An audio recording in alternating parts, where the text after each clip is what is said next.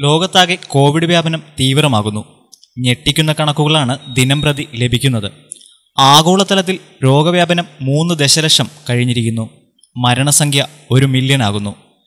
കണക്കനുസരിച്ച് U S ആണ് ഒന്നാം സ്ഥാനത്ത് തുടരുന്നത്. രണ്ട് മൂന്ന് സ്ഥാനത്ത് ഇന്ത്യയും ബ്രസീലും. നാലാം സ്ഥാനത്ത് റഷ്യയുമാണ്.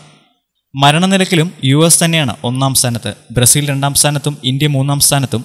നാലാം സ്ഥാനത്ത് മെക്സിക്കോയുമാണ് പട്ടികയിൽ ഉൾപ്പെട്ടിരിക്കുന്നത്. ആഗോള വ്യാപനത്തിന്റെ ഭാഗമായി ലോകത്തിലെ എല്ലാ രാജ്യങ്ങളും ജനങ്ങളും ഒറ്റക്കെട്ടായി പോരാടേണ്ട സമയം.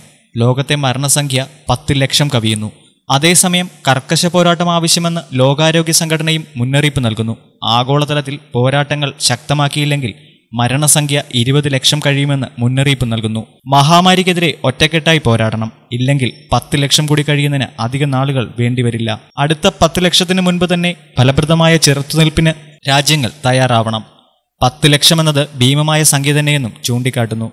ഇരുപത് ലക്ഷമെന്നത് സങ്കല്പിക്കാൻ പോലും ആവാത്ത സംഖ്യയാണ്. കൂട്ടായ പ്രവർത്തനമില്ലെങ്കിൽ ഇതിലേക്ക് നീങ്ങുമെന്നും ഇത് നിർഭാഗ്യകരമായ കാര്യമെന്നും ലോകാരോഗ്യ സംഘടന എമർജൻസീസ് ഡയറക്ടർ മൈക്കിൾ റയാൻ വ്യക്തമാക്കുന്നു. കോവിഡിനെതിരെയുള്ള വാക്സിൻ നിർമ്മാണം വിതരണം തുടങ്ങിയ വിഷയങ്ങളിൽ അഭിമുഖീകരിക്കുന്ന പ്രതിസന്ധികളെയും അദ്ദേഹം സൂചിപ്പിച്ചു.